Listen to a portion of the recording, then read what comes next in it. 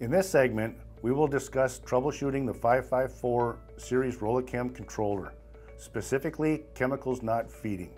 First make certain the flow light is illuminated. The flow light is located between the LED displays.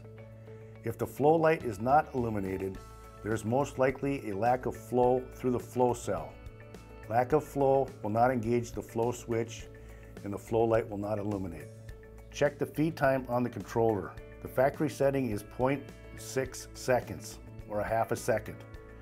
Feed times of 1.2 and 1.8 seconds may not be long enough to activate the feeder.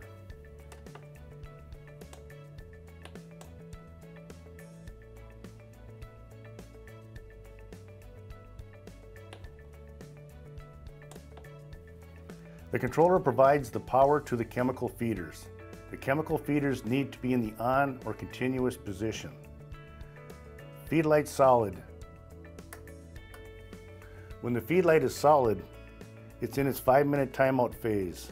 Note the feed light will blink when feeding and will be solid during the timeout phase.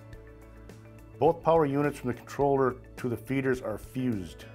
Verify that the feeder will work by plugging into a known powered outlet. Should the known power outlet prove the feeder is functional, it may be a blown fuse.